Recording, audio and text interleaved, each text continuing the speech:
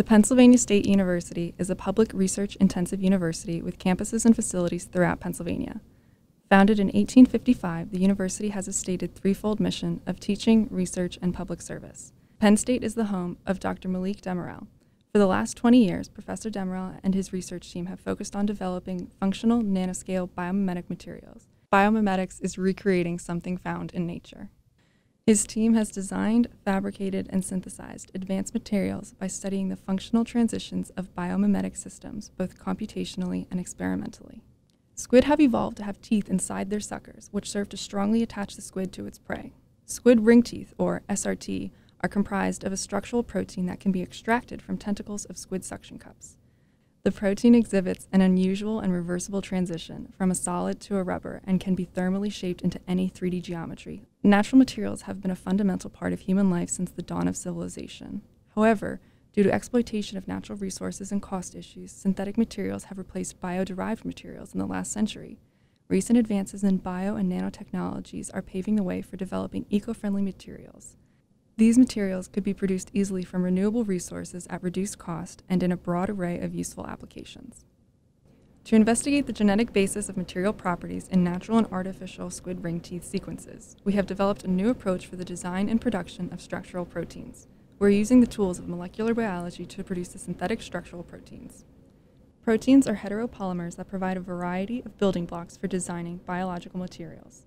Proteins have several advantages as natural materials, such as their chain length, sequence, and stereochemistry can be easily controlled. The molecular structure of proteins is well defined. They provide a variety of functional chemistries for conjugation to other biomolecules or polymers, and they can be designed to exhibit a variety of physical properties. Proteins are diverse but often display substantial similarity in sequence and 3D structure. Proteins are key to the creation of many new high strength materials. Synthetic structural proteins are manufactured using industrial biotechnology. We are producing structural proteins at Penn State's fermentation facilities using bacteria and yeast. Our structural proteins have been shown to have excellent mechanical properties in wet and dry conditions. They have the unique capability of being thermally remodeled into various functional forms, such as films, foams, and fibers, as used in multiple applications in cosmetics, medicine, textiles, and packaging. Design of novel biomimetic materials might be based on an existing architecture, like the amount of crystallinity or the arrangement of domains, a chemical composition, like crystalline block chemistry, or a switching mechanism in thermomechanical properties that can influence mechanical forces during material assembly. We were able to cut a sample in half and repair it by applying pressure and warm water.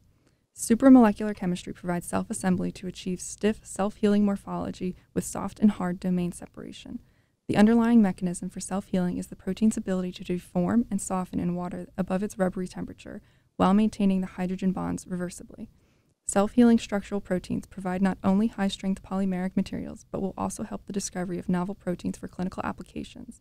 Together with Dr. Benjamin Allen, Research Associate in Biochemistry and Molecular Biology, and the Huck Institutes, the Demirel Group has made varying lengths of amino acid strings and found that in the synthetic material, toughness and extensibility increase as the molecular weight increases. The longer the polypeptide chain, the greater the molecular weight. They also found that the balance between elasticity, how much the material will stretch without deforming, and plasticity, the point at which it will deform, remain unchanged. We demonstrated a self healing feature of multilayers made of structural proteins by polyelectrolyte layer by layer. We also show that these protein multilayers are mechanically stable and functional biomolecules can easily be introduced into them without affecting their functionalities. This opens the door to use protein-based multilayers and films to be used as complex functional materials for fabrics. These results clearly show the self-healing feature of the multilayers and their improved mechanical properties compared to the conventional textiles such as cotton and wool.